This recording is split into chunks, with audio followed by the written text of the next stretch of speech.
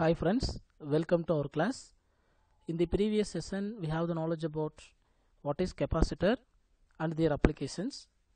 Today, we are going to discuss effect of dielectric in capacitor. அதாவது மின்தேக்கிகளில் மின்காப்புகளின் விளைவுகளை பற்றி பார்க்க போகிறோம் சரிங்களா we assume that the space between the parallel plates of a capacitor is either empty or filled with air. Suppose the dielectrics like mica, glass or paper is introduced between the plates then the capacitance of the capacitor is altered. பாருங்க இதுக்கு முன்னாடி case வரைக்கும் நம்ம வந்து ஒரு மின்தேக்கியினுடைய மின்தேக்கு திறனை கண்டுபிடிக்கிறதுக்கு அந்த மின்தேக்கி இடையில் இருக்கக்கூடிய மீடியம் வந்து ஏர் அல்லது வேக்கமாக எடுத்துடணும் இப்போ நம்ம என்ன பண்ண போகிறோம் அப்படின்னா ஒருவேளை அந்த ரெண்டு பிளேட்ஸ்க்கும் இடையில் நான் வந்து ஒரு டயலக்ட்ரிக் மின்கடத்தா பொருளை வந்து இன்செர்ட் பண்ணும்போது மின்தேக்கு திறன் கண்டிப்பாக மாறுபடும். சரிங்களா? அப்போ அந்த டைலக்ட்ரிக் மீடியத்தை இன்ட்ரடியூஸ் பண்ணுறதுல ரெண்டு வழிகள் இருக்குது there are two ways to introduce the dielectric between the capacitor the first way is when the capacitor is disconnected from the battery. அதாவது இந்த கெப்பாசிட்டரானது பேட்டரியிலிருந்து டிஸ்கனெக்ட் பண்ண பின்னாடி டைலக்ட்ரிக் இன்ட்ரடியூஸ் பண்ணுறது ஒரு method when the capacitor is connected to the battery அதாவது கெப்பாசிட்டரானது பேட்டரியோட கனெக்ஷனில் இருக்கும்போதே dielectric introduce பண்ணுறது ரெண்டாவது மெத்தடு வாங்க ஃபஸ்ட் மெத்தட் பார்ப்போம். When the capacitor is disconnected from the battery. கவனிங்க. வென் the, consider a capacitor with two plates of each cross area A and are are by a distance d the capacitor is charged by a battery of voltage V0 and the charge stored is Q0. Then the capacitance of the capacitor without dielectric is C0 equal to Q0 by V0. அதாவது ஒரு இணைத்தட்டு மின்தேக்கி எடுத்துக்கிட்டு அந்த இணைத்தட்டுகளுக்கான குறுக்குவெட்டு பரப்பு ஏனும் அந்த தகடுகளுக்கு இடையில தொலைவு டீன்னு எடுத்துக்கிட்டு அந்த மின்தேக்கியானது ஒரு வி நாட் மின்னழுத்த வேறுபாடு கொண்ட ஒரு மின்கலனோடு இணைக்கப்படுது. அப்படி இணைக்கப்படும் போது அந்த மின்தேக்கியானது கியூ நாட் மின்னூட்டத்தை தேக்கி வச்சுக்குது. அப்படிங்கும்போது அந்த தகடுகளுக்கிடையே எந்த ஒரு மின்காப்பும் இல்லாதப்போ அந்த மின்தேக்கினுடைய மின்தேக்கு திறனானது C naught equal to Q naught by V naught அப்படின்னு எடுத்துக்கிறோம். Okay the battery is then disconnected from the capacitor and dielectric is inserted between the plates இப்போ தான் நம்ம என்ன பண்ண போகிறோம் அப்படின்னா இந்த பேட்டரியை டிஸ்கனெக்ட் பண்ணிவிட்டு டயலக்ட்ரிக் மீடியத்தை இன்ட்ரடியூஸ் பண்ணுறேன் சரிங்களா? Okay the introduction of dielectric between the plates will decrease the electric field அதாவது பாருங்கள் பேட்டரியில் கனெக்ஷனில் இருக்கும்போது எலக்ட்ரிக் ஃபீல்டு இ நாட்னு எடுத்துக்கிட்டோம். இப்போது டயலக்ட்ரிக் இன்ட்ரடியூஸ் பண்ண பின்னாடி எலக்ட்ரிக் ஃபீல்டு இ ஆகுது. காரணம் என்னென்னா இந்த டைஎலக்ட்ரிக் மீடியம் எலக்ட்ரிக் ஃபீல்ட் லைன்ஸை அப்போஸ் பண்ணும். அதனால் எலக்ட்ரிக் ஃபீல்ட் டிக்ரீஸ் ஆகும். சரிங்களா? அப்போது டிக்ரீஸ் ஆன electric ஃபீல்டுக்கான relation is equal to E naught by epsilon r அப்படின்னு எழுதலாம். இங்கே e இ நாட் அப்படிங்கிறது பேட்டரியோட கனெக்ஷனில் இருக்கும்போது எலக்ட்ரிக் ஃபீல்டுனும் இ அப்படிங்கிறது டிஸ்கனெக்ட் பண்ண பின்னாடி டைஎலக்ட்ரிக் இன்ட்ரடியூஸ் பண்ணிவிட்டு எலக்ட்ரிக் ஃபீல்டுனும் எடுத்துக்கிறோம். சரிங்களா? அப்போது electric field is inversely proportional to relative permittivity of the medium Shikhar E naught is the electric field inside the capacitor when there is no dielectric and epsilon r is the relative permittivity of the dielectric இங்கே பெர்மியபிலிட்டின்னு கொடுத்துருக்காங்க. இதை correction பண்ணிக்கோங்க. It is a relative permittivity அல்லது epsilon r is known as dielectric constant அப்படின்னும் சொல்லலாம். சரிங்களா? So எப்படி இருந்தாலுமே எப்சலான் ஆரோடைய வேல்யூ ஒன்றை விட கிரேட்டர் தானே போகும்போது எலக்ட்ரிக் ஃபீல்டானது கண்டிப்பாக ப்ரீவியஸ் கேஸை விட டிக்ரீஸ் ஆகும். So the electrostatic potential difference between the plates V is equal to E d is also reduced அப்போ இ குறையிறதுனால ஆட்டோமேட்டிக்காக எனக்கு வியும் குறையுது. சரிங்களா? அப்போது பொட்டன்ஷியல் டிஃப்ரென்ஸ் ரெடியூஸ் ஆகுது. அப்போது what about Q naughts charge remains constant ஏன்னா பேட்ரி வந்து டிஸ்கனெக்ட் ஆகிடுச்சு சரிங்களா? அப்போது த சேஞ்ச் இன் பொட்டன்ஷியல் எவ்வளோ அப்படின்னா விஸ் ஈக்குவல் டு இடிங்கிறது நமக்கு தெரியும். இந்த e ஈயோடைய வேல்யூவை நம்ம முன்னாடி ஒரு ஈக்குவேஷன் வச்சுருக்கு பாருங்க. Is equal to E naught divide by r apply பண்ணிக்கலாம். டி அப்படியே அப்ளை பண்ணுவோம். Where E naught into d equal to V naught நம்ம எடுத்துட்டோம்னா V is equal to V naught divided by epsilon r அப்படின்ட்டு எனக்கு கிடைக்கும். ஸோ இந்த ரிலேஷனில் V is inversely proportional to epsilon r. சரிங்களா? அதே சமயம் the capacitance is inversely proportional to the potential difference. இங்கே epsilon r வேல்யூ இன்க்ரீஸ் ஆகிறதுனால வியோட வேல்யூ டிக்ரீஸ் ஆகுது. அப்போது வி குறையிறதுனால எனக்கு கெப்பாசிட்டன்ஸ் ஆட்டோமேட்டிக்காக டிக்ரீஸ் ஆகுது. சாரி கெப்பாசிட்டன்ஸ் இன்க்ரீஸ் ஆகுது. அப்போ நியூ கெப்பாசிட்டன்ஸோடைய வேல்யூ என்னவாக இருக்கும்? அப்படின்னு பார்த்தீங்கன்னா where C is equal to Q naught by V அப்படின்ட்டு வரும். வேர் இது வந்து V change in potential and C change in capacitance where Q naught கான்ஸ்டன்ட்னால அப்படியே யூஸ் பண்ணிட்டோம். டிவைட் பை வீக் பதிலாக நம்ம முன்னாடி கண்டுபிடிச்ச equation V naught divide by epsilon r apply பண்ணுவோம். அப்போது Q naught divide by V naught divided by epsilon ஆர்னு வரும். இந்த epsilon R multiplication ஆகிக்குது equal to where Q naught by V naught அப்படிங்கிறது நமக்கு சி நாட் அப்படின்னும். அண்ட் எப்சிலான் ஆர் அப்படியே use பண்ணும்போது where C is equal to epsilon r into C naught அப்படின்னு கிடைக்கும். சரிங்களா?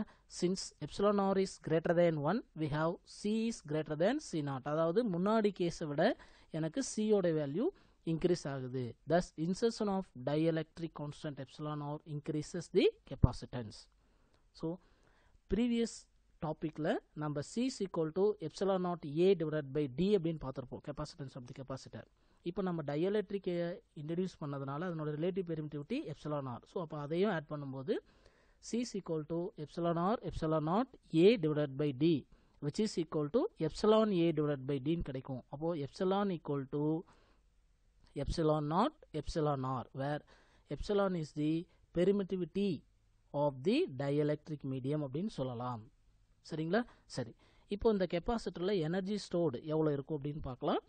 இதுக்கு முன்னாடி நம்ம வந்து டயலெக்ட்ரிக் இன்ட்ரடியூஸ் பண்ணுறதுக்கு முன்னாடியே energy stored of capacitor கண்டுபிடிச்சிருப்போம். Where upsilon naught equal to one by two Q naught square by C naught அப்படின்ட்டு. இதே டயலெக்ட்ரிக் இன்ட்ரடியூஸ் பண்ணதுக்கப்புறம் எனக்கு எனர்ஜி எவ்வளோ ஸ்டோர்டு இருக்கும் அப்படின்னா வேர் டயலெக்ட்ரிக் இன்ட்ரடியூஸ் பண்ணப்போ எனக்கு வந்து எனர்ஜி ஸ்டோர்டு சேஞ்ச் ஆகும்.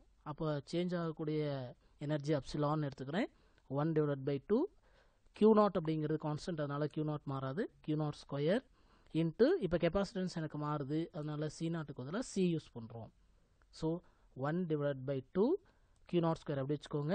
சிக்கு பதிலாக நம்மகிட்ட ஈக்குவேஷன் இருக்குது பாருங்கள் epsilon r into C naught அந்த ஈக்குவேஷனை அப்ளை பண்ணுறோம் ஸோ இதில் one by two Q naught square by C naught அப்படிங்கிறது upsilon naught and epsilon r அப்படியே வச்சுட்டிங்கன்னா upsilon naught divide by epsilon r அப்படின்னு கிடைக்கும். இங்கேயும் பாருங்கள் எப்சிலான் ஆருடைய வேல்யூ கிரேட்டர் ஆச்சு அப்படின்னா எனக்கு எனர்ஜி ஸ்டோர் டிக்ரீஸ் ஆகும். So epsilon r is greater than one upsilon is less than upsilon naught எப்போது எனக்கு எனர்ஜி வந்து டிக்ரீஸ் ஆகுது. சரியா? There is a decrease in energy because when the dielectric is inserted the capacitor spends some energy in pulling the dielectric inside அதாவது dielectric introduce பண்ணும்போது அந்த கெப்பாசிட்டரானது அந்த டயலெக்ட்ரிக்கை உள்ளுக்குள்ளே இழுக்கிறதுக்கு சம் எனர்ஜியை ஸ்பெண்ட் பண்ணிக்குது அதனால தான் வந்து எனக்கு எனர்ஜி குறையுது second step when the battery remains connected to the capacitor let us now consider what happens when the battery of voltage V naught remains connected to the capacitor when the dielectric is inserted into the capacitor அதாவது V naught potential difference இருக்கக்கூடிய பே பேட்டரியோட கெப்பாசிட்டரானது கனெக்ஷனில் இருக்கும்போதே dielectric introduce பண்ணுறோம் அப்படி insert பண்ணும்போது potential difference எனக்கு வந்து மாறாது. சரிங்களா?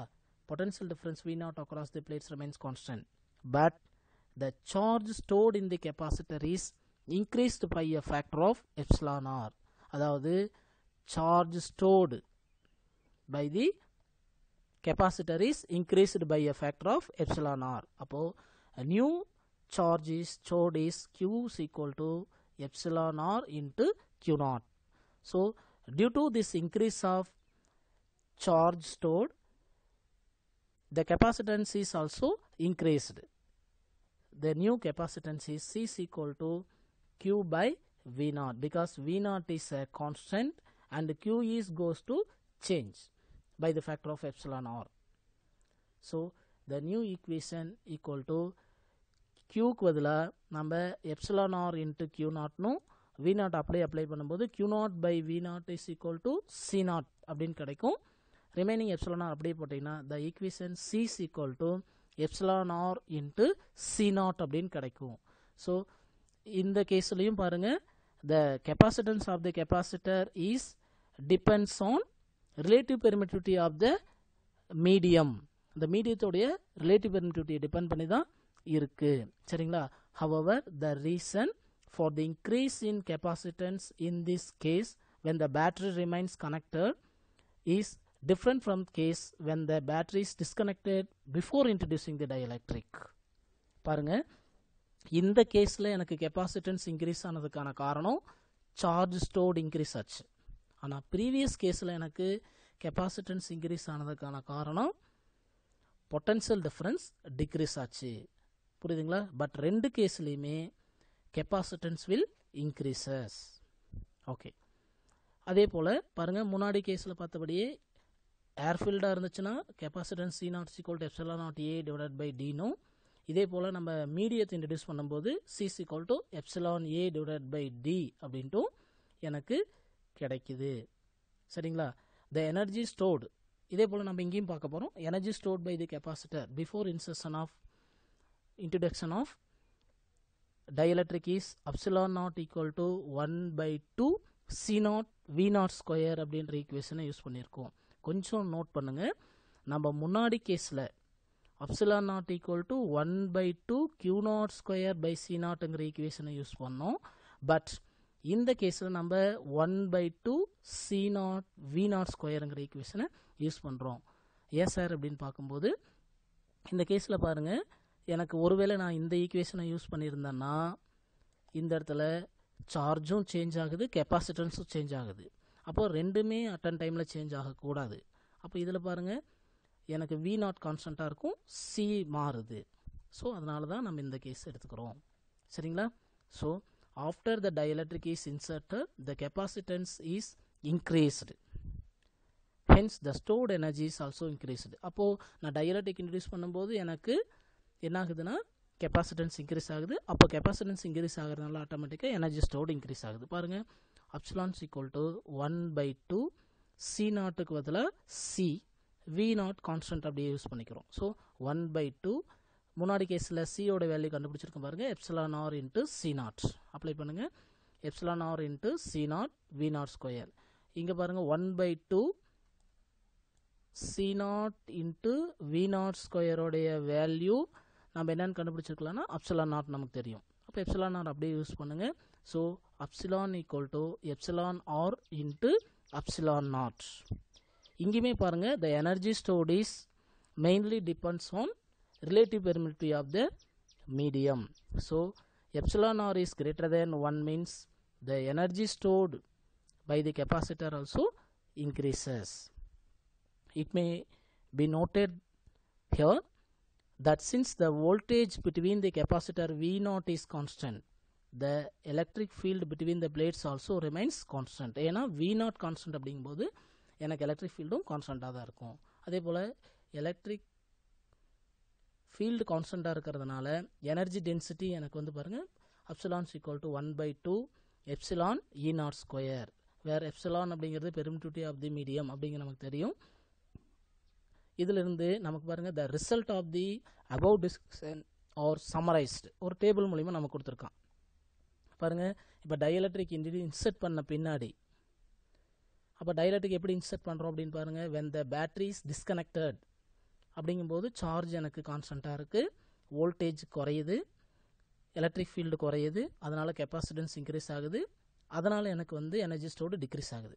ஆனால் வென் த பேட்ரிஸ் கனெக்ஷனில் இருக்கும்போது நான் டைலக்ட்ரிக் இன்ட்ரடியூஸ் பண்ணேன்னா சார்ஜ் இன்க்ரீஸ் ஆகுது. வோல்டேஜ் கான்ஸ்டண்ட்டாக இருக்குது. எலக்ட்ரிக் ஃபீல்டும் கான்ஸ்டண்ட்டாக இருக்குது. கெப்பாசிட்டன்ஸ் இன்க்ரீஸ் ஆகுது. எனர்ஜியும் இன்க்ரீஸ் ஆகுது. ஸோ இந்த ரெண்டு கேஸ்லேயும் கெப்பாசிட்டன்ஸும் potential electric field and charge energy stored எல்லாமே எப்படி மாறுது அப்படிங்கிறத பார்த்தோம். சரிங்களா? இப்போ பாருங்கள் ஒரு சின்ன கான்செப்ட்டு இந்த கான்செப்டை பேஸ் பண்ணி தான் கம்ப்யூட்டருடைய கீபோர்டை கன்ஸ்ட்ரக்ட் பண்ணுறாங்க அப்படின்னு சொல்லியிருக்காங்க. பாருங்கள் when the key is pressed the separation between the plates decreased leading to an increase in the capacitance அதாவது இங்கே ஒரு பிளேட் இருக்குது மேலே ஒரு பிளேட் கொடுத்துருக்கான் பாருங்கள் movable plate and fixed plate இந்த ரெண்டு பிளேட்டுக்கும் இடையில ஒரு இன்சுலேட்டர் இன்செட் பண்ணியிருக்கான் இப்போது மேலே இருக்கக்கூடிய பிளேட்டை நம்ம ப்ரெஸ் பண்ணும்போது பிளேட்டுக்கு இடையில எனக்கு வந்து டிஸ்டன்ஸ் குறையும். அப்போ டிஸ்டன்ஸ் குறையிறதுனால ஆட்டோமேட்டிக்காக எனக்கு வந்து கெப்பாசிட்டன்ஸ் இன்க்ரீஸ் ஆகுது அப்படிங்கிறத சொல்லியிருக்கான். ஸோ இது மூலிமா தான் வந்து எலக்ட்ரானிக் கீபோர்ட்ஸு அந்த கம்ப்யூட்டரில் எந்த பட்டன் அல்லது கீ வந்து ப்ரெஸ் ஆச்சு அப்படிங்கிறத ஐடென்டிஃபை பண்ணிக்குது. சம் ஒன்று பாருங்கள் A parallel plate capacitor filled with mica having relative permittivity is 5 is connected to a 10 volt battery. The area of the parallel plate is 6 meter square and separation distance is 6 millimeter. அதாவது ஒரு இணைத்தட்டு மின்தேக்கிக்கு இடையில் மைக்கா அதனுடைய relative permittivity five இருக்கக்கூடிய ஒரு material insert பண்ணி அந்த இணைத்தட்டானது பத்து வோல்ட் மின்கலனோட இணைக்கப்பட்டிருக்கு இந்த தகடுகளின் பரப்பு முறையே ஆறு மீட்டர் ஸ்கொயர்னும் அது தகடுகள் பிரிக்க வைக்கப்பட்டுள்ள தொலைவு ஆறு மில்லிமீட்டர்னு எடுத்துக்கிறோம். முதல் கேள்வி பாருங்கள் find the capacitance and stored the charge அதாவது அதனுடைய மின்தேக்கு திறனையும் சேமிக்கப்பட்ட மின்னோட்டத்தையும் கேட்குறான் ரெண்டாவது question after the capacitor is fully charge the battery is disconnected and dielectric is remove carefully அதாவது கெப்பாசிட்டரானது முழுமையாக மின்னேற்றம் பெற்றவுடன் அந்த மின்கலனானது துண்டிக்கப்படுகிறது. அப்போது அந்த டயலெக்ட்ரிக் அப்படின்ற மின்காப்பு பொருளை மெதுவாக வெளியெடுக்கிறோம். அப்போது அதனுடைய மின்தேக்குத்திறன் சேமிக்கப்பட்ட மின்னோட்டம் மற்றும் அதனுடைய சேமிக்கப்பட்ட ஆற்றல் எவ்வளோ அப்படிங்கிறத கேட்குறான் சொல்யூஷன் பாருங்கள் the capacitance of the capacitor in the presence of dielectric is இப்போ டயலக்ட்ரிக் உள்ளே இருக்கும்போது அதனுடைய capacitance வேல்யூக்கான formula C's equal to epsilon r epsilon naught A divide by d epsilon ஆருடைய value five and epsilon naught constant value அது நமக்கு தெரியும். இது எல்லாத்தையும் சேர்த்து நம்ம அப்ளை பண்ணும்போது அண்டு ஏவோட வேல்யூ டியோட வேல்யூ அப்ளை பண்ணோன்னா நமக்கு capacitance of the capacitor is equal to forty four point two five nano farad அப்படின்னு கிடைக்குது. அதே போல் அதில் ஸ்டோர்ட் சார்ஜ் எவ்வளோ அப்படின்னா சார்ஜுக்கான equation Q's equal to C V இதில் சியோட value forty four point two five into ten to the power minus nine into வியோட value ten apply பண்ணோம்னா நமக்கு கிடைக்கிறது forty four four two point five nano coulomb the stored energy is upsilon's equal to one by two C V square இங்கே சியோட value forty four point two five into ten to the power minus nine into வியோட value ten ten into ten is equal to hundred apply பண்ணும்போது the stored energy is equal to two point two one micro joule அப்படின்னு கிடைக்குது. சரியா? After the removal of dielectric since the battery is already disconnected the total charge will not change but the potential difference between the plates increases as a result the capacitance is decreased அதாவது என்ன சொல்ல வரானா இப்போ வந்து நம்ம பேட்டரியை disconnect பண்ணுறோம் அப்படி பண்ணும்போது டிஸ்கனெக்ட் பண்ண பின்னாடி தான் வந்து டைஎலக்ட்ரிக்கை வெளியெடுக்கிறோம் அப்படிங்கும்போது the potential difference between the plates will be D increases எனக்கு பொட்டன்ஷியல் டிஃப்ரென்ஸ் இன்க்ரீஸ் ஆகுது அதே சமயத்தில் பொட்டன்ஷியல் டிஃபரன்ஸ் இன்க்ரீஸ் ஆகும்போது ஆட்டோமேட்டிக்காக கெப்பாசிட்டன்ஸ் டிக்ரீஸ் ஆகும் so new capacitance C naught is equal to C by epsilon இந்த ஈக்குவேஷன் வந்து C equal to epsilon r into C நாட்டுங்கிற ஈக்குவேஷன்லேருந்து கிடைக்கிது சியோட வேல்யூ நமக்கு தெரியும் எப்சலானோட வேல்யூ தெரியும் அப்ளை பண்ணும்போது எனக்கு C நாட்டோடைய value eight point eight five nano farad அப்படின்னு கிடைக்குது. அதே போல் ஸ்டோர்டு சார்ஜ் மாறாது. ஏன்னா இங்கே சார்ஜ் வந்து கான்ஸ்டன்ட். பேட்டரியை டிஸ்கனெக்ட் பண்ணிட்டோம்.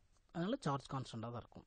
So stored energy new stored energy வந்து எவ்வளோ அப்படின்னா upsilon naught equal to Q square by two C naught அப்படின்னு எடுத்துக்கிறோம். ஏன்னா கியூ ஸ்கொயர் அப்படி எடுத்துக்கோ எப்சிலான் ஆர் அப்படிங்கிறது பார்த்தீங்கன்னா இங்கே divided by two into C நாட்டோட வேல்யூ அப்ளை பண்ண போகிறோம் சி பை எப்சலான் ஆர்னு அப்போது இந்த ஈக்குவேஷனில் டூ சி பை எப்சலான் ஆர்னு வரும். அந்த எப்சலான் ஆர் மேலே போயிடுச்சு.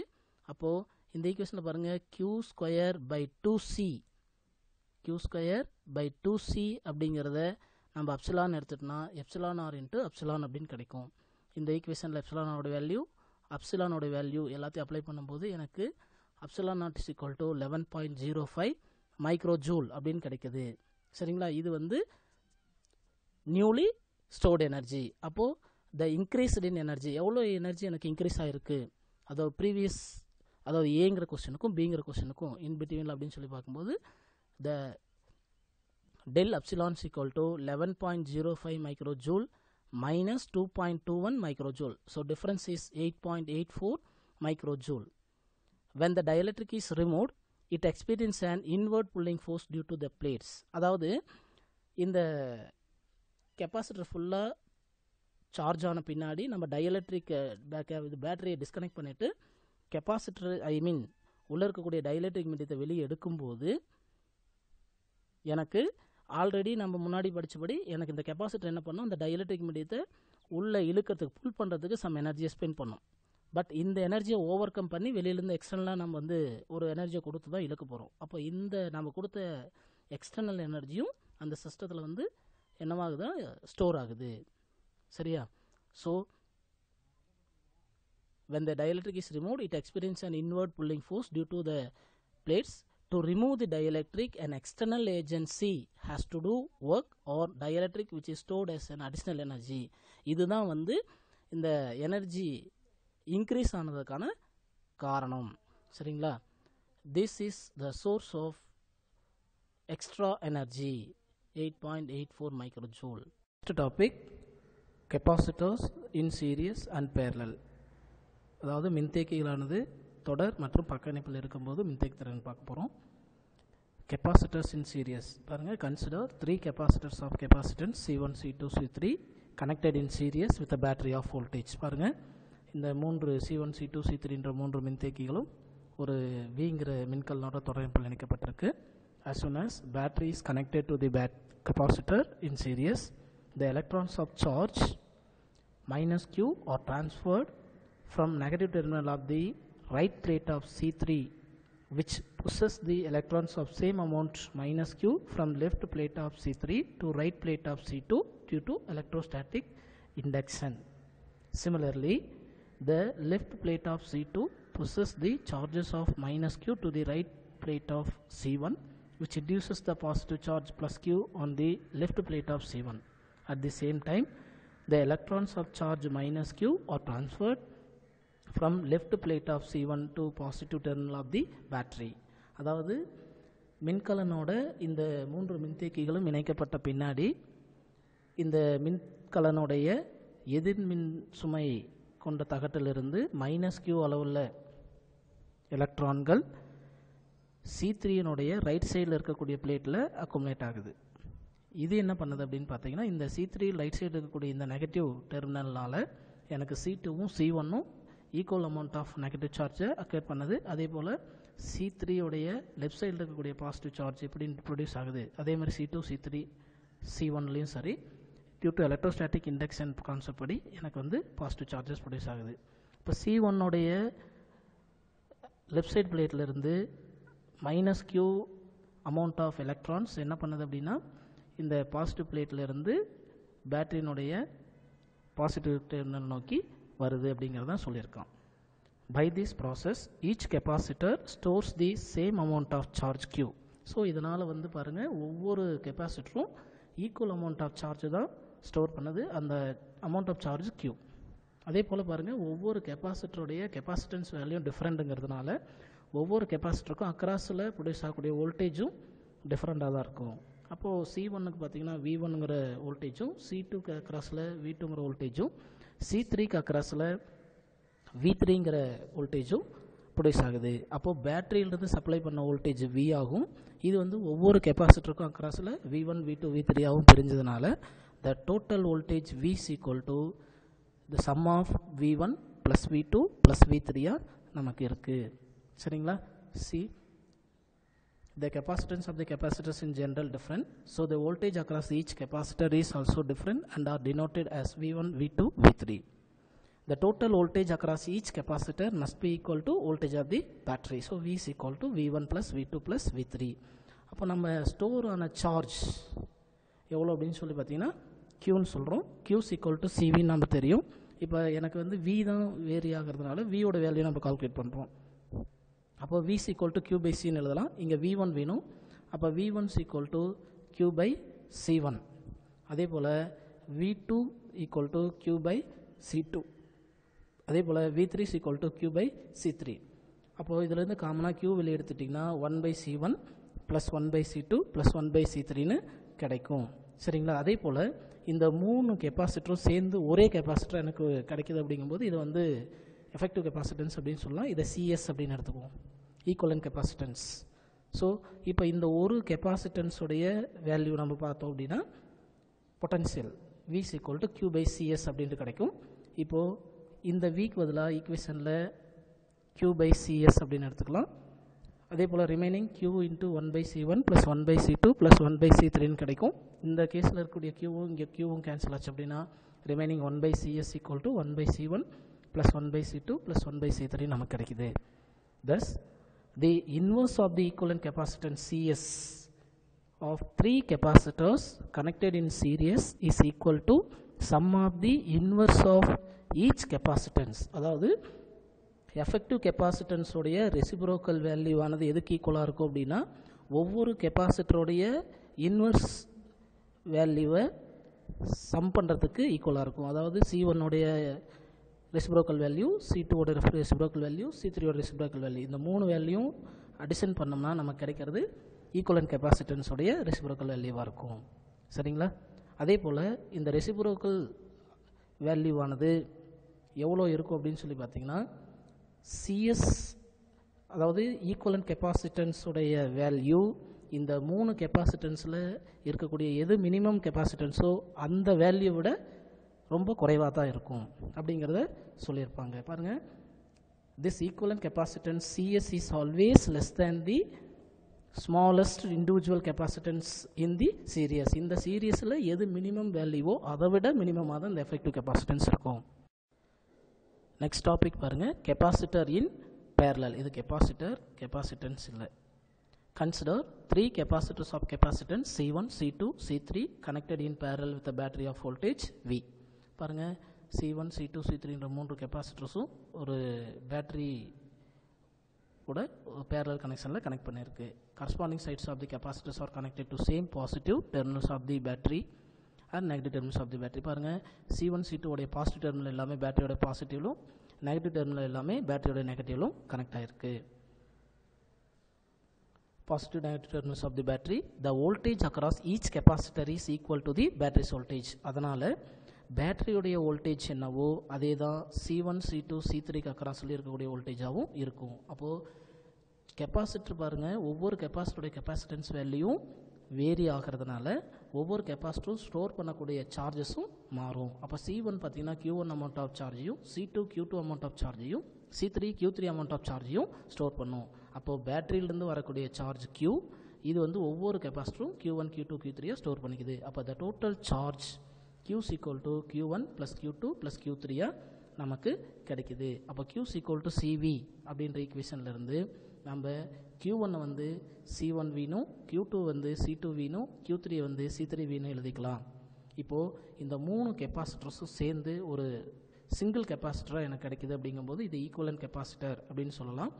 அதை பாருங்கள் if these three capacitors are consider to form a single capacitance CP which stores the charge Q அப்போ இந்த equivalent capacitance Q amount of சார்ஜை ஸ்டோர் பண்ணதுன்னு எடுத்துக்கலாம். அப்போது எனக்கு Q equal to CP into வின்னு கிடைக்கும்.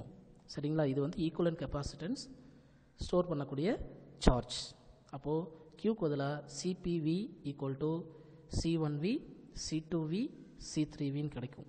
அப்போது இந்த ஈக்குவேஷனில் வி எல்லாமே பாருங்கள் காமனாக இருக்கிறதுனால எல்லா வியும் கேன்சல் பண்ணிக்கலாம். அப்போ CP equal to C one plus C two plus C த்ரீன்னு கிடைக்கும். Thus the equivalent capacitance of the capacitor connected in parallel is equal to sum of the individual capacitance. அதாவது பக்கணிப்பில் இணைக்கப்பட்ட ஒவ்வொரு மின்தேக்கியினுடைய மின்தேக்கு திறன்களின் கூடுதலானது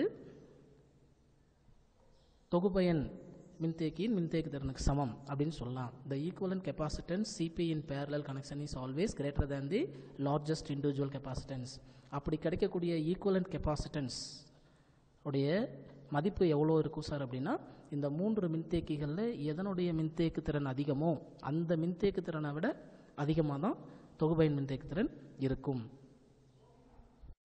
எக்ஸாம்பிள் சம் பாருங்கள் find the equivalent capacitance between P and Q for the configuration shown below in the figure பாருங்கள் இந்த படத்தில் ஒரு diagram கொடுத்துருக்காங்க.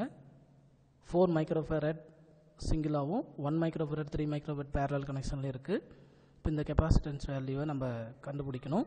The capacitors 1 microfarad 3 microfarad are connected in parallel. அதே போல் சிக்ஸும் டூவும் பாருங்கள் பேரலல் கனெக்ஷனில் இருக்குது so the parallel combinations reduce to equivalent single capacitance in their positions இப்போ இதை வந்து நம்ம சிங்கிள் பொசி கெப்பாசிட்டராக மாற்றணும் அப்போ பேரலல் கனெக்ஷன் அப்படிங்கும்போது கெப்பாசிட்டன்ஸ் வேல்யூஸை நம்ம வந்து டைரெக்டாக ஆட் பண்ணிக்கலாம். அப்போது C equivalent equal to one microfarad plus three microfarad is equal to four microfarad இப்போது இந்த ரெண்டு கெப்பாசிட்டர் வேல்யூவும் பார்த்தீங்கன்னா ஈக்குவலன்ட் கெப்பாசிட்டன் ஃபோர் மைக்ரோஃபேரடுக்கு ஈக்குவல் அதே போல் C equivalent is equal to six microfarad two microfarad ரெண்டையும் கூட்டினீங்கன்னா எனக்கு எயிட் மைக்ரோஃபேரட் கிடச்சிருது. இது போல். அப்போது இது ஒரு சிங்கிள் கெப்பாசிட்டன்ஸ் வேல்யூவாக நமக்கு கிடச்சிருச்சு. From the figure B, we infer that the two 4 microfarad capacitors are connected in series and the two 8 microfarad capacitors are connected in series. By using formula for the series, we can reduce the equivalent capacitance value see like this இப்போ இது ரெண்டும் பாருங்க series கனெக்ஷனில் இருக்கிறது அப்போ series கனெக்ஷனான equation apply பண்ணுங்க 1 by C equivalent is equal to 1 by 4 plus 1 by 4 is equal to 1 by 2 அப்போ equivalent capacitance equal to reciprocal எடுத்துக்கோங்க 2 microfarad அதே போல் ரெண்டாவதுக்கு பாருங்க இந்த வேல்யூக்கு வந்து effective capacitance calculate பண்ணீங்கன்னா 1 by C equivalent is equal to 1 by 8 plus 1 by 8 equal to 1 by 4 C equivalent is equal to 4 microfarad அப்படின்னு கிடைக்குது அப்போது தேர்டு டயக்ராம் நமக்கு என்னத்தை இன்ஃபர் பண்ணுது அப்படிங்கும்போது இப்போ இதுவும் ஒரே ஒரு கெப்பாசிட்டர் ஆயிடுச்சு இதுவும் இது ஒரு கெப்பாசிட்டராக நம்ம மாற்ற போகிறோம் Shikhar we infer that the 2 microfarad and 2 4 microfarad are connected in parallel so the equivalent capacitance is c equivalent is equal to 2 microfarad plus 6 4 microfarad equal to 6 microfarad thus the combination of capacitance in figure a can be replaced by a single capacitance of 6 microfarad. அப்போ இந்த combination எனக்கு வந்து 6 microfarad அப்படிங்கிறது காமிக்குது. So the effective capacitance is equal to 6 microfarad. Thank you friends. Tamil வழி மாணவர்களுக்காக மின்தேக்கிகளில் மின்காப்புகளின் விளைவு. முன்னாடி பாடத்தில் நம்ம பார்த்துருப்போம் மின்தேக்கினா என்ன? மின்தேக்கினுடைய பண்புகள் பயன்கள்லாம் பார்த்துருப்போம். இப்போது இதுவரையும் நம்ம பார்த்த மின்தேக்கியின் வந்து பார்த்திங்கன்னா அந்த மின்தேக்கியின் தகடுகளுக்கு இடையில் காற்று நிரப்பப்பட்டோ அல்லது வந்து வெற்றிடமாக வைக்கப்பட்டு தான் மின்தேக்கத்தன் கண்டுபிடிச்சிருப்போம். ஆனால் இப்போ என்ன பண்ண போகிறோம்னா அந்த மின்தேக்கிகளுக்கு இடையில் மின்காப்பு பொருளை வைக்கிறோம். அதனால் மின்தேக்குத்திறன் என்னவாகுதுன்னு கண்டுபிடிக்க போகிறோம் சரிங்களா? அப்போ தட்டுக்களுக்கு இடையே மின்காப்புனை புகுத்தும் போது ரெண்டு வழிகள் இருக்குது ஒன்று வந்து மின்கலனோட இணைப்பை துண்டிக்கப்பட்ட பின்னாடி மின்காப்பை இணைக்கலாம். அல்லது மின்கலனுடன் இணைக்கப்பட்ட நிலையில் மின்தேக்கி இருக்கும்போதே நம்ம வந்து மின்காப்பு பொருளை இணைக்கலாம். ஸோ இந்த ரெண்டு விதமாக நம்ம வந்து செய்யலாம். முதல் பகுதியை பார்ப்போம்.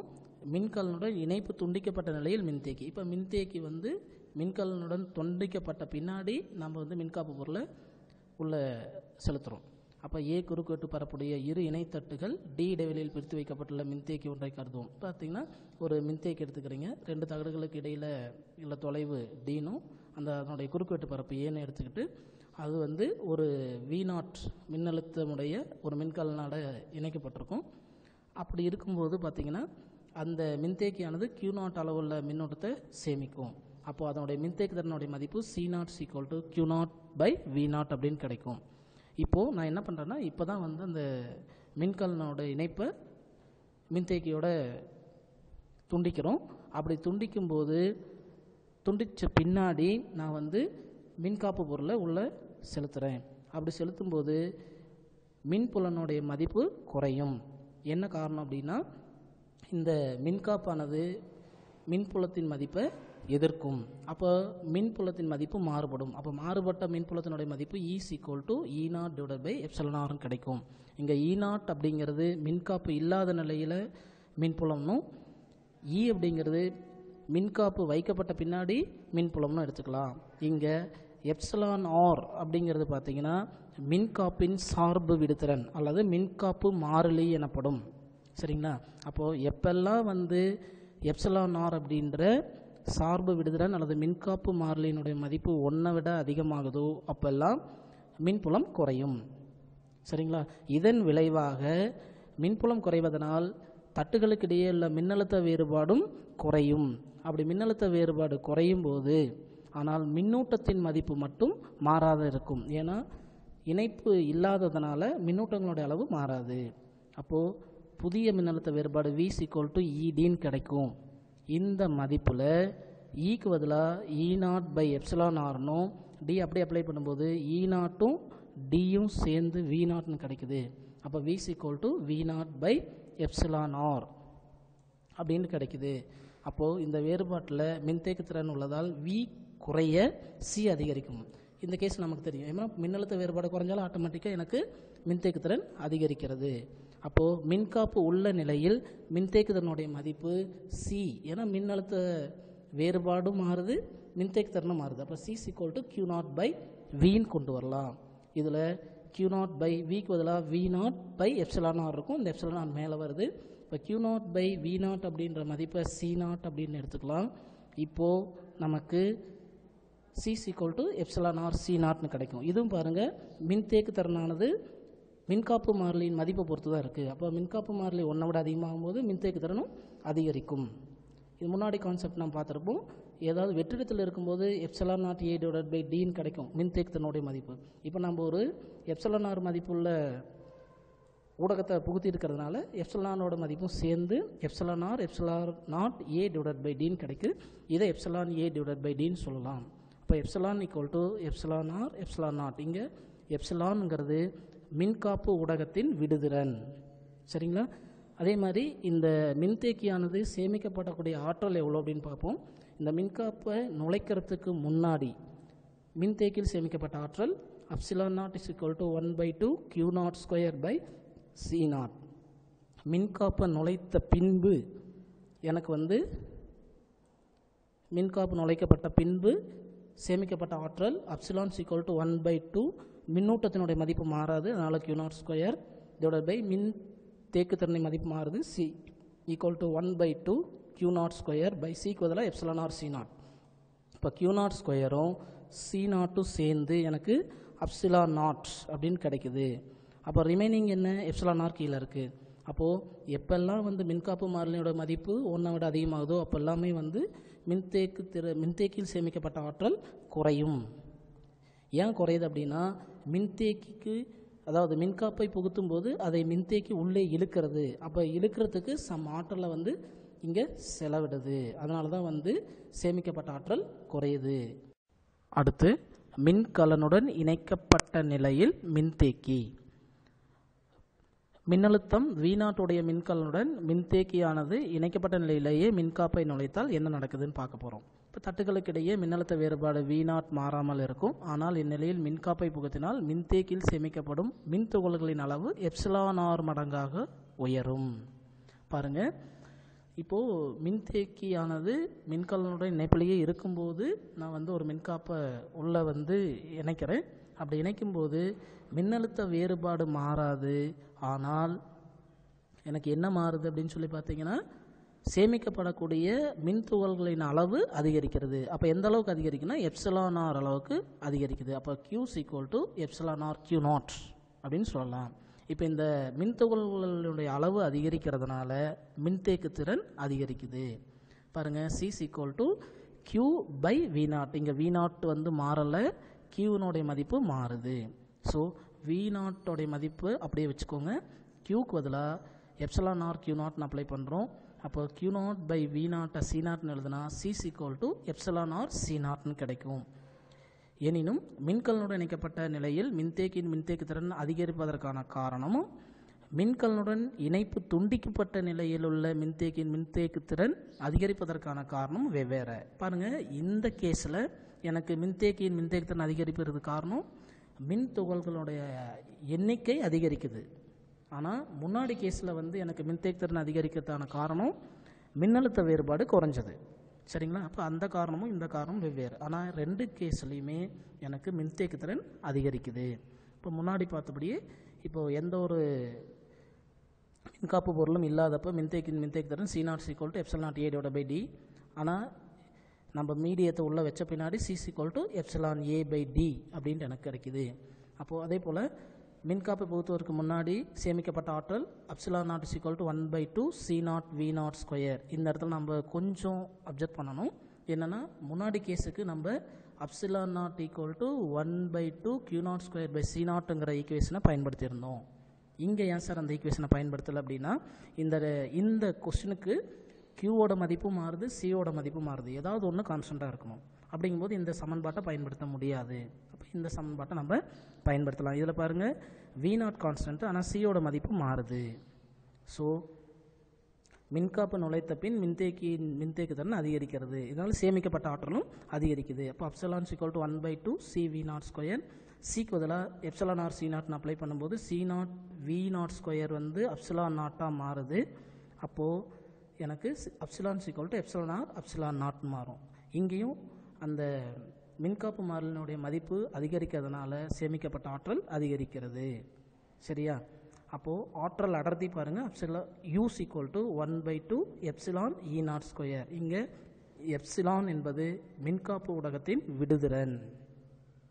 ஒரு கான்செப்ட் கொடுத்துருக்கான் பாருங்கள் இந்த கான்செப்டை டிபெண்ட் பண்ணி தான் கம்ப்யூட்டர் கீபோர்ட்ஸ் வந்து ஒர்க் ஆகுது அப்படிங்கிற மாதிரி சொல்கிறாங்க பாருங்கள் கம்ப்யூட்டர் கீபோர்டில் கீழே ஒரு நிலையான தட்டுன்னு ஒன்று இருக்குது மேலே பார்த்தீங்கன்னா ஒரு பட்டன் இருக்குது இதுக்கு அடியில் நகரக்கூடிய தட்டுன்னு ஒன்று கொடுத்துருக்காங்க. இந்த ரெண்டு தட்டுகளுக்கும் இடையில் மின்கடத்தா பொருள் இருக்குது இப்போ இந்த ரெண்டு தட்டுகளும் தான் உங்களுக்கு வந்து பார்த்திங்கன்னா ஒரு மின்தேக்கி மாதிரி செயல்படுது. இது மின்கடத்தா பொருள் மாதிரி இருக்குது பாருங்கள் பட்டனை அழுத்தும் போது தட்டுகளுக்கு இடையே உள்ள தொலைவு குறைவதால் மின்தேக்கு திறன் அதிகரிக்குது. அப்போ டிஸ்டன்ஸ் குறையும் போது எனக்கு சி அப்படின்ற மின்தேக்கு திறன் அதிகரிக்கிறது. இதனால் தூண்டப்படும் எலக்ட்ரானிய சுற்றுகளால் எந்த பட்டன் அழுத்தப்பட்டது அப்படிங்கிறது அந்த கண்ணிக்கு தகவல் சென்றடைகிறது.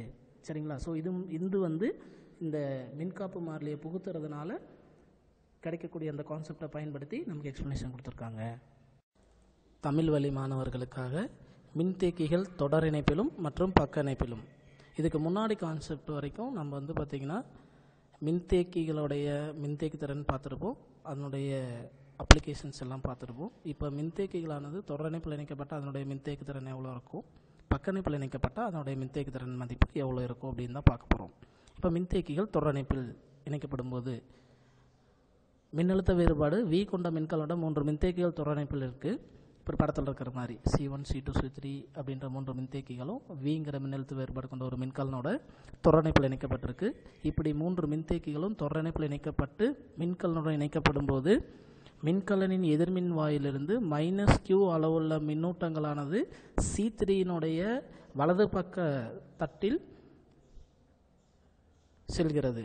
அதே போல் மைனஸ் கியூ அளவுள்ள அதே எதிர்மின்னூட்டம் கொண்ட எலக்ட்ரான்களானது சி டூலையும் சி த்ரீக்கும் வழங்கப்படுகிறது. அதே போல் சி த்ரீயினுடைய இடது பக்க தட்டில் நேர்மின் சுமை மற்றும் சி டூ சி ஒன்னிலும் பார்த்தீங்கன்னா நிலை மின் தூண்டல் என்ற தத்துவத்தின்படி நேர்மின் சுமையானது உருவாக்கப்படுகிறது.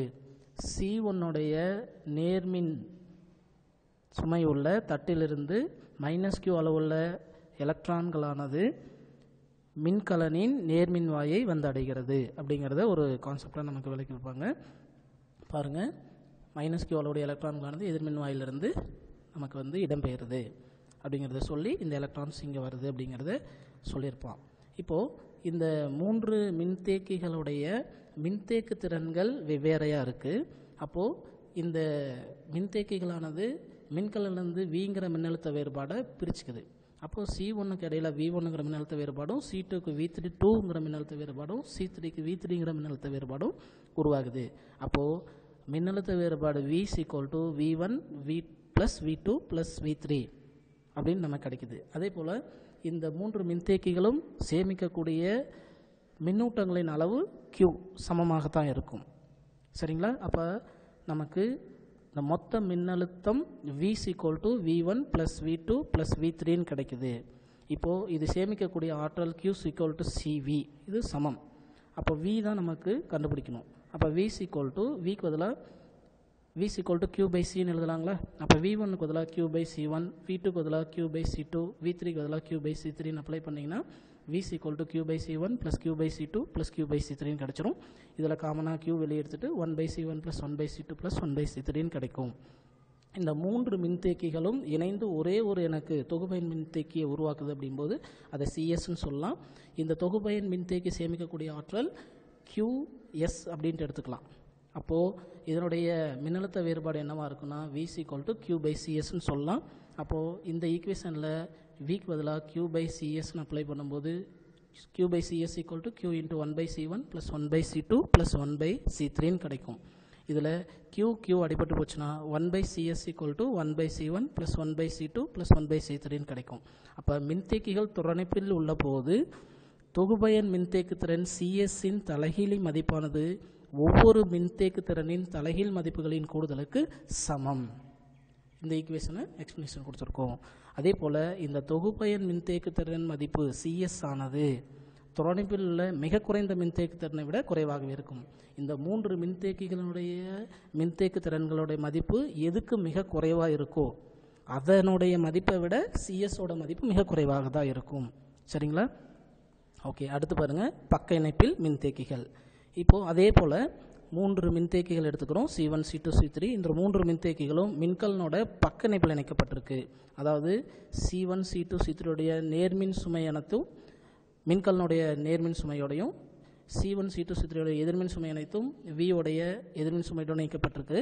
அதனால் C one C two C த்ரீனுடைய மின்னழுத்த வேறுபாடு மாறாது. அப்போ வியாக தான் இருக்கும். பட் மூன்று மின்தேக்கிகளின் மின்தேக்கு திறன்கள் மாறுறதுனால ஒவ்வொரு மின்தேக்கியும் சேமிக்கக்கூடிய ஆற்றலும் மாறும். அது மின்னூட்டங்களும் மாறும். அப்போது சி ஒன்றுக்கு பார்த்தீங்கன்னா கியூ ஒன்னுங்கிற மின்னோட்டத்தையும் சி டூ கியூ டூங்கிற மின்னோட்டத்தையும் சி த்ரீ கியூ த்ரீங்கிற மின்னோட்டத்தையும் சேமிக்கும். அப்போது மின்கலன்லேருந்து வரக்கூடிய மின்னூட்டம் கியூ ஆனது Q one plus Q two plus Q த்ரீயாக மாறுது. அதே போல் சேமிக்கப்பட்ட Q is equal to CV ஆற்றல். Q ஈக்குவல் டு சிவி இதில் க்யூ ஒன்னுக்கு பதிலாக சி ஒன் வி க்யூ டூக்கு பதிலாக சி டூ வி க்யூ த்ரீக்கு பதிலாக சி த்ரீ வி இந்த மூன்று மின்தேக்கிகளும் சேர்ந்து ஒரு தனித்த மின்தேக்கியை உருவாக்குது அப்படிங்கும்போது அதை சிபின்னு சொல்லலாம்.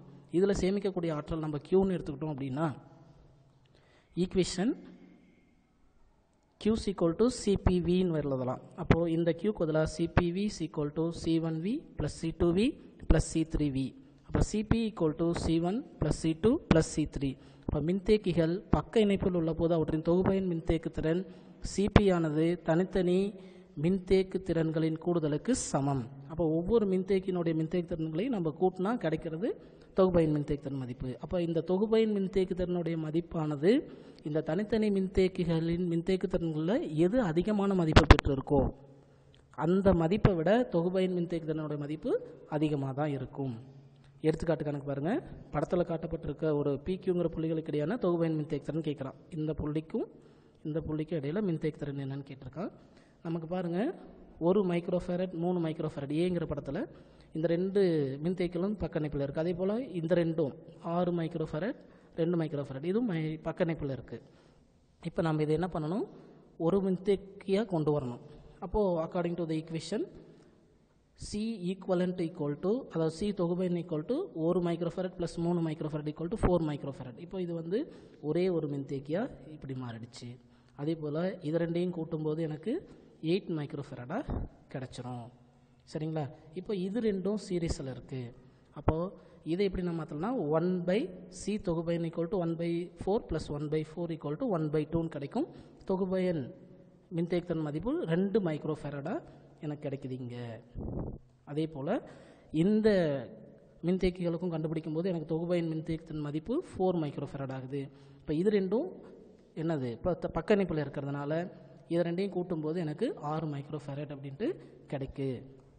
அப்போது படத்தில் கொடுக்கப்பட்டுள்ள மின்தேக்கிகளின் தொகுபயன் மின்தேக்குதர்களின் தொகுபயன் மதிப்பு ஆறு மைக்ரோஃபெரட் அப்படின்னு நம்ம தெரிஞ்சுக்கிறோம். Thank you friends